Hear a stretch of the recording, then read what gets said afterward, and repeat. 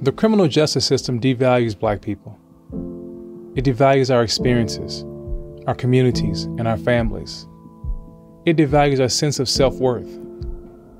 It tells black people that we're not deserving or good enough. And in the process, it empties our communities to feed the machinery of the prison system, to ensure that there are always black bodies available to fill the cells.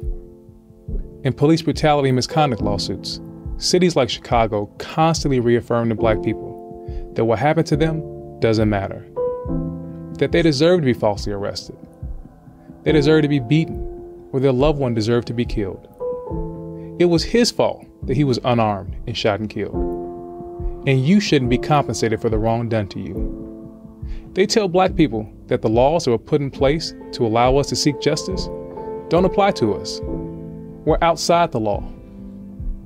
This is the message they send to black people every day.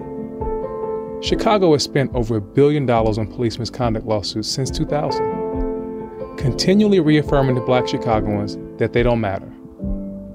Collectively, cities around the country have spent over $3 billion to compensate nearly 40,000 victims of police misconduct. That's $3 billion spent on injustice. That's $3 billion spent to devalue you. That's what I fight against every day.